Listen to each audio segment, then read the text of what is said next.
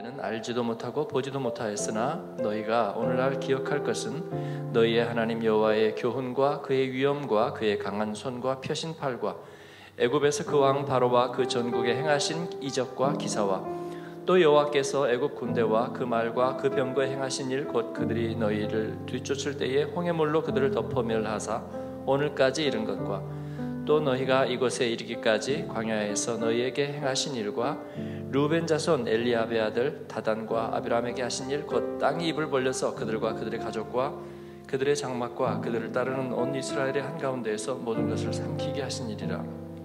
너희가 여호와께서 행하신 이 모든 큰 일을 너희의 눈으로 보았느니라. 그러므로 너희는 내가 오늘 너희에게 명하는 모든 명령을 지키라. 그리하면 너희가 강성할 것이요 너희가 건너가 차지할 땅에 들어가서 그것을 차지할 것이며 또 여호와께서 너희의 조상들에게 맹세하여 그들과 그들의 후손에게 주리라고 하신 땅 곧 젖과 꿀이 흐르는 땅에서 너희의 날이 장구하리라. 내가 들어가 차지하려 하는 땅은 내가 나온 애굽 땅과 같지 아니하니 거기에서는 너희가 파종한 후에 발로 물 대기를 채소밭에 댐과 같이 하였거니와 너희가 건너가서 차지할 땅은 산과 골짜기가 있어서 하늘에서 내리는 비를 흡수하는 땅이요. 내 하나님 여호와께서 돌봐 주시는 땅이라 연초부터 연말까지 내 하나님 여호와의 눈이 항상 그 위에 있느니라. 아멘. 예, 오늘 말씀 예, 하나님을 아는 세대. 예, 오늘은 어, 애국과 가나안 땅, 땅의 비교보다는 예, 세대에 초점을 맞추어서 말씀을 묵상하려고 합니다. 하나님을 사랑하는 일 어제 그 말씀을 함께 묵상했는데요. 그 하나님을 사랑하는 일이 이 세대마다 아, 과제가 있다는 거지요. 호렙과 광야에서 하나님과 동행하였던 1세대 광야 세대 그들은 무엇을 보고 또 무엇을 겪었을까요? 하나님의 행하신 일을 그들은 예, 보고 경험했습니다. 바로의 손에서 그들을 건져내신 일, 또 6월절에 그 초태생을 하나님이 거두어내신 일, 하나님께 우선순위와 초태생, 첫 열매를 드리는 백성에게는 그것은 하나님과의 영광의 기억이 되겠지만 자기가 첫 번째라 생각하는 이 세상에 속한 이들에게는 그날은 슬픔과 애곡의 날이 되었습니다. 예, 우리에게도 6월절의 의미는 하나님이 단지 우리를 건져주셨다는 의미만이 아니라 첫 번째 으뜸되는 것은 하나님께 속하였다. 그렇지 않으면 하나님께서 거두실 것이다. 아, 이를 기억하는 날이 되어야 할 줄 압니다.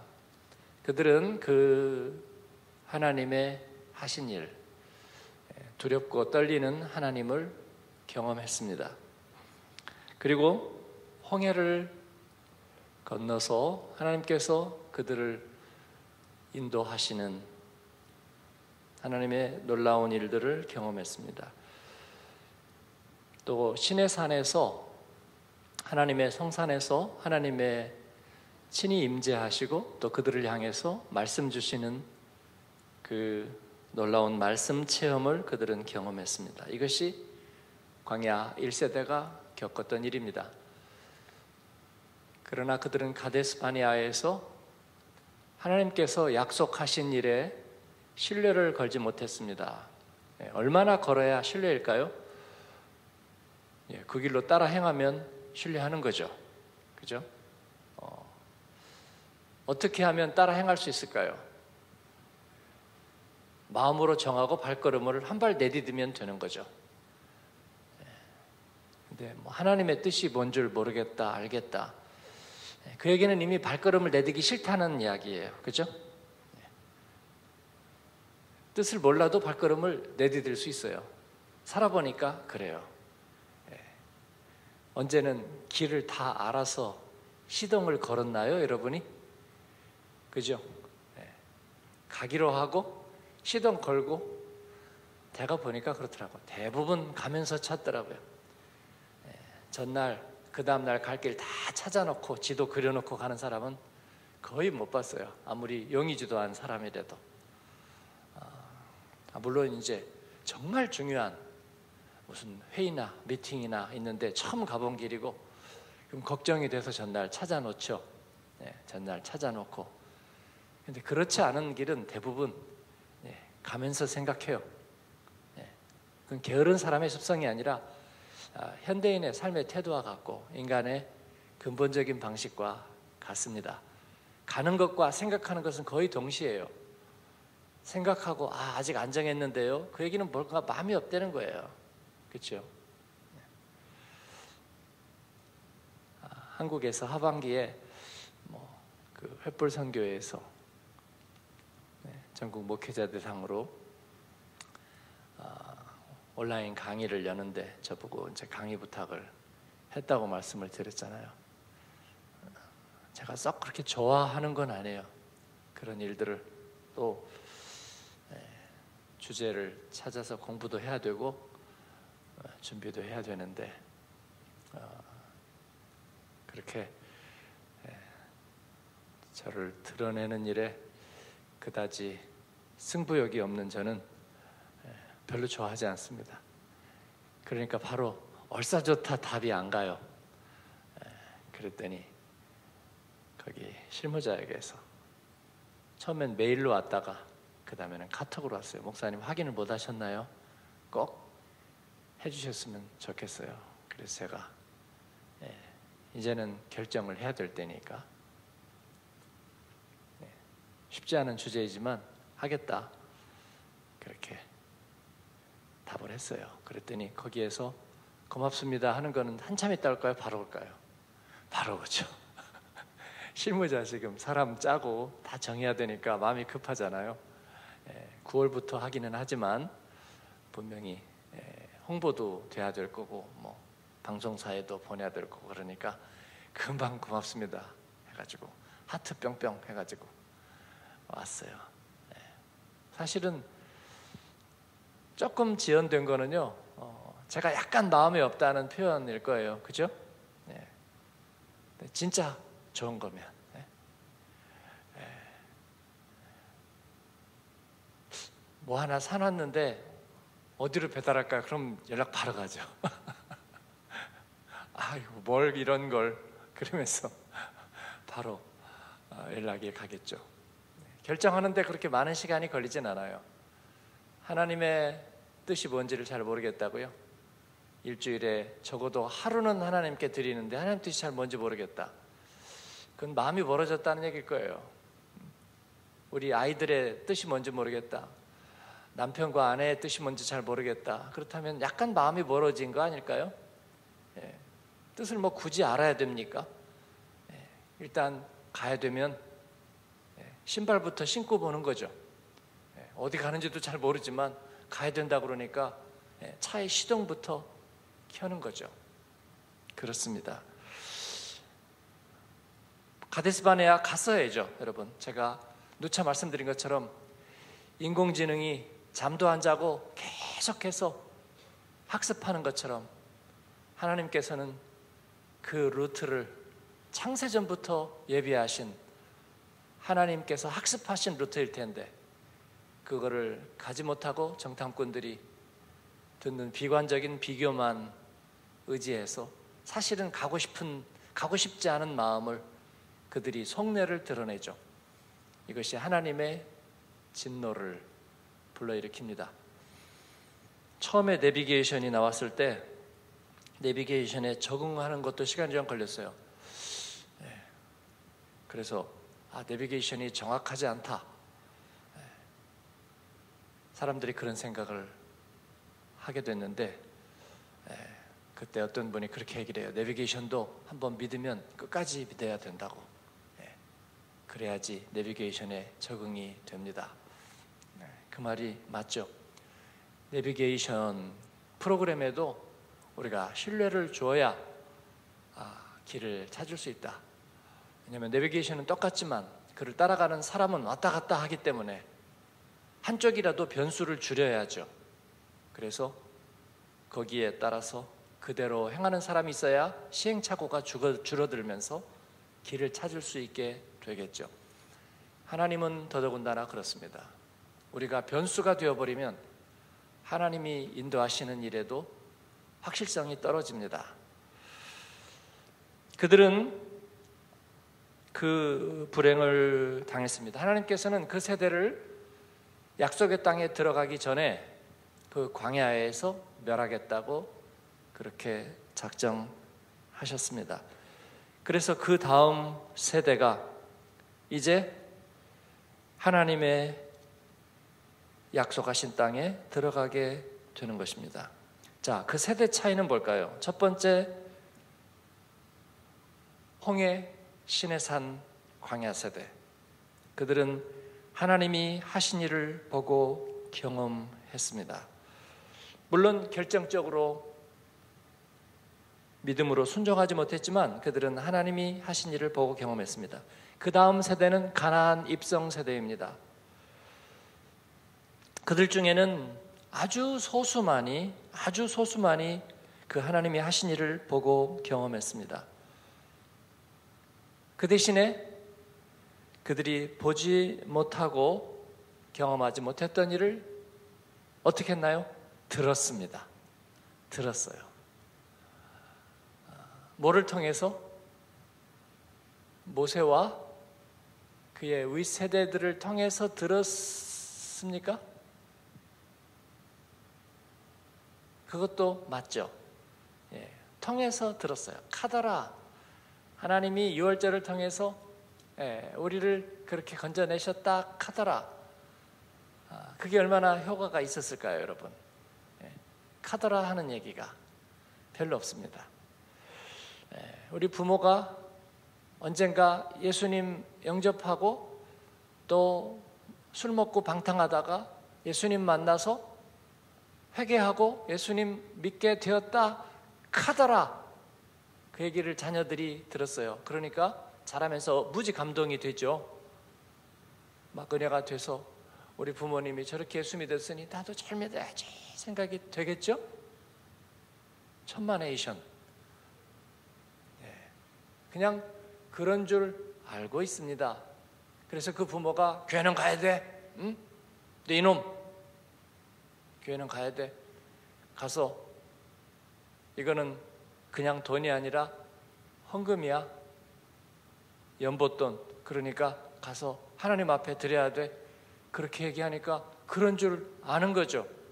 그러다 보니까 교회 가게 되고 또 교회 안 가면 안 되는 줄 알고 그러지만 부모님이 어떻게 예수를 믿었는지 그리고 그게 얼마나 대단했는지 시간이 지나니까 잘 몰라요.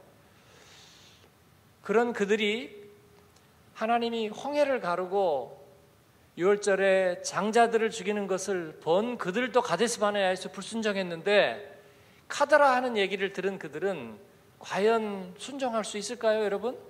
어떻게 생각하세요? 성경이니까 대충 그런 줄 알고 그러면 안 되죠. 남의 얘기처럼. 우리라면 그렇게 하겠느냐는 거예요. 상식적으로 볼 때 제 생각에는 어림도 없어요.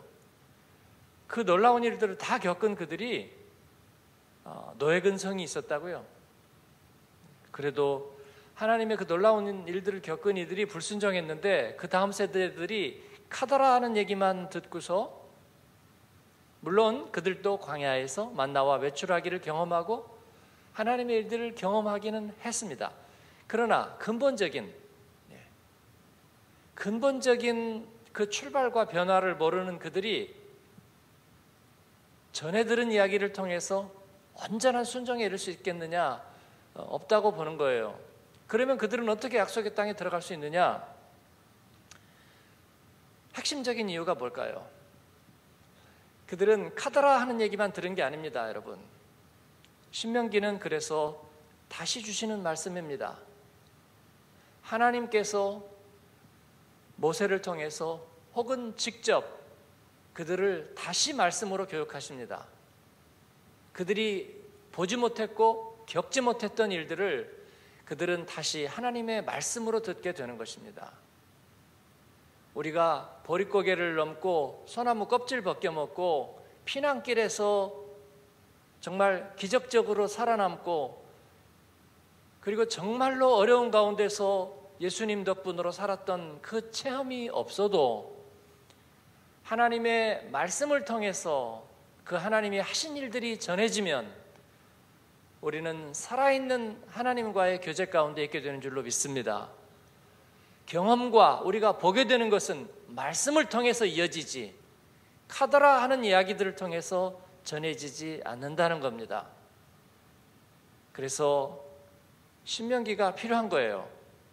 하나님의 살았고 운동력 있는 말씀 속에 하나님의 영이 임해서 그것은 방언이나 셋째 하늘이나 어떤 예언이나 진동이나 신비 체험보다도 하나님의 말씀 속에서 하나님의 영이 우리들에게 깨우치시고 순종하게 하시는 능력이 더 큰 줄로 믿습니다. 우리 한국 교회는 그 말씀의 영성을 받은 거예요, 여러분. 예. 교회마다 특색이 있어서 우리 교회에 있다가 한국 가신 성도들도 뭐 여러 교회를 다녀요. 예, 큰 교회도 다니고 어, 작지만 어, 소그룹을 열심히 하는 교회도 다니고 목장을 잘하는 교회도 다니고 또 어느 교회는 또 24시간 기도하는 예, 교회를 가서 어, 뭐 온 가족이 또 기도하는데 한 번 빠져들고 또 그렇게 신앙생활을 하기도 하고 예, 어쨌든 그러나 한국 교회는 말씀 위에 뿌리를 내렸어요. 그래서 천대가 가리라고 저는 믿는 거예요. 한국 사회에서 뉴스마다 뭐 코로나 확진자만 나와도 교회를 통한 감염들 그런 얘기를 해야 되는데 문제점이 생겨도 뭐 어느 교회에서 교역자가 예, 뉴스에 그런 얘기하는 걸 아주 한국 사회가 너무 좋아하고 반기독교화 되어가지만 그런 가운데서도 주님의 말씀 위에 세워진 교회들은 성장하고 있어요. 여러분 예, 역풍이 불어도 말씀에 의지하여 그물을 내리리이다. 예, 갈릴리에서 바다 뼈가 굵은 어부가 경험적으로 안 맞은 일을 주님이 말씀으로 명령하시니까 순종할 힘이 생기더라는 거예요, 여러분. 예, 말씀에는 그런 힘이 있는 줄로 믿습니다. 다음 세대를 어떻게 할까? 보지도 못하고 겪지도 못하고 고생을 해보지 못한 그들을 어떻게 약속의 땅으로 인도하고 그들이 어떻게 순종의 결단을 내릴까? 걱정할 필요 없죠. 하나님의 말씀에는 능력이 있기 때문에 그들을 말씀 앞에 세우면 그들이 다시 결정하고 고생했던 부모들보다도 더 순도 높은 의지와 결단으로 하나님을 따르게 된다. 할렐루야. 우리 청년들도요. 여기 한두 분 보이는데 네. 그 윗세대들보다도 더 분명하고 말씀 위에 세워진 사람들이 많아요. 여러분. 네. 그래서 무슨 뭐 X세대, Y세대, Z세대 할 것 없어요. 네. 그건 세상의 풍조를 따라서 구별해 놓은 구별일 뿐 하나님의 말씀으로 세워진 사람들은 단정하게 여호수아는 모세보다도 더 온전하게 하나님을 따라요. 중요한 것은 하나님의 말씀이 그 생명 말씀이 하나님을 사랑하는 말씀이 온전하게 전해지는 문제인 줄로 믿습니다. 우리 다음 세대에 하나님의 말씀이 전해지고 그들의 심장 속에 주님의 말씀이 그 규례와 명령과 법도가 새겨지는 은혜가 있기를 바랍니다.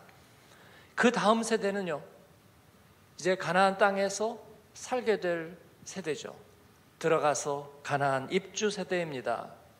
그 후 세대는 부모들이 다 해놨으니까 이제는 편안하게 살면 되지. 천만의 만만의 말씀입니다. 그들은 훨씬 더 어려운 세대를 살게 될 겁니다. 하나님의 말씀은 저절로 주어지지 않습니다. 우리가 은혜 받고 다 해놨으니까 너는 누리면 돼. 그런 거 없습니다, 여러분. 하나님에게는 재벌이세 없습니다. 우리가 스카이캐슬 지어놨으니까 너는 가라는 대로 갔다가 쓰라는 대로 쓰고 그리고 들어가라는 대로 들어가고 그리고 나중에 잘 살면 돼. 천만에요. 그런 세대 없습니다. 인생은 그렇게 이루어지지 않아요. 전반부는 누가 대신해 주고 후반부만 네가 누리고 살면 된다. 그런 인생은 없습니다. 보릿고개 어려운 시절은 우리가 겪었어. 녹슬은 물 그냥 받아먹고 배 채우고 그랬던 거는 우리 세대로 충분해. 니들은 꽃길만 걸어. 그런 길 인생에는 없습니다. 미안합니다. 그래서 부모가 대신해 준 고생, 부모가 대신해 준 것들, 자녀는 뭘로 채워요? 마음의 질병으로 채웁니다. 그래서 어릴 때부터 센시티브하고 어릴 때부터 마음의 질병에 시달리는 거예요, 여러분. 인생의 길은 같습니다. 면제될 수 있는 것은 없어요. 가나안 입주 세대는 저절로 하나님 은혜 가운데 살았느냐? 아니죠. 그들은 은혜를 잊어버린 세대가 되었습니다. 말씀을 모르는 세대가 되었습니다. 부모가 신앙 체험만 생각하고 교회 잘 다녀, 교회 잘 다녀. 그 말 가지고 자녀들이 양육이 안 되었습니다. 내가 예수님 만났을 때 그 얘기가 한 번은 감동이 되지만 두 번부터는 감동이 되지 않습니다. 하나님의 말씀이 전해져야 되었습니다. 그래서 모세는 옛날 얘기, 네. 흘러간 옛 노래, 레코드 틀어놓지 않고 하나님의 말씀으로 다시 세우는 것입니다. 하나님의 말씀이 무엇이었는지를 다시 가르치는 거예요. 이게 신명기예요. 그래야 약속의 땅에서 너희들이 승리할 수 있다고. 우리가 받은 은혜 훈김에 너희들은 그냥 살면 되는 거야. 아니요. 그런 거 없습니다. 훈김이라는 거 남아있지 않아요. 그들이 하나님 말씀 다시 붙들어야 될 거예요. 우리 자신도 마찬가지입니다. 옛날에 예수님 뜨겁게 사랑할 때 그 교회 그 시절 그 은혜로 지금 산다고 천만에요. 틀렸습니다. 지난 날은 더 이상 오늘 나의 힘이 되지 못하는 거예요. 그 은혜의 기억이 출발점이 된 것은 내가 잊지 않죠. 내 영혼아 그 은택을 잊지 말지어다. 그건 잊지 않죠. 그러나 오늘의 힘이 되는 것은 오늘 내게 주시는 살아계신 하나님의 말씀인 줄로 믿습니다. 그렇지 않으면 은퇴한 노인네가 되는 거예요. 은혜에서 은퇴한 노인네가 되어서 더 이상 줄 것도 없고 힘도 하나도 없는데 뭔가 호의로만 살아가려는 그 인생은 차량하고 서글픕니다. 그렇죠. 부모들이 자녀가 찾아오면 가만개라도 줄 수 있어야 되겠죠. 예. 따뜻한 밥이라도 한 그릇 차려줄 수 있어야 되겠죠. 그런데 그런 능력을 완전히 상실하면 부모들이 슬퍼합니다. 내가 쓸모없구나 이제 예. 무슨 말씀을 그렇게 하십니까? 예. 그러지만 부모들이 슬퍼하죠. 어, 내가 더 이상 아무것도 줄 수 없는 그런 시절이 되었구나. 영적으로는 우리는 그러지 않아도 됩니다. 여러분, 하나님 앞에서 늘 깨어 있어야 되겠습니다. 모세는 약속의 땅에 들어가지 못했지만 요단 동편에서 그 약속의 땅을 하나님이 바라보게 하실 때에 120세 그의 눈이 청청하고 푸르렀습니다. 기력이 쇠하지 않았고 하나님께서 그를 부르셨기 때문에 그는 생을 마쳤습니다.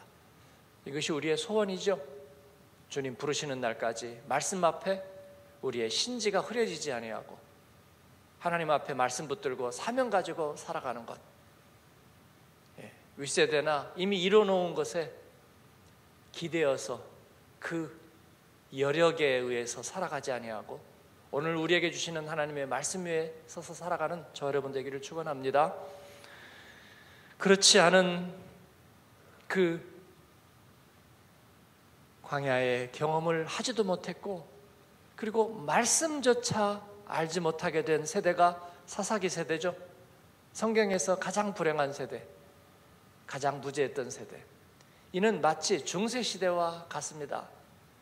중세 시대에 들어가면서 하나님의 말씀은 미안하지만 라틴어 안에 갇혀 버렸습니다.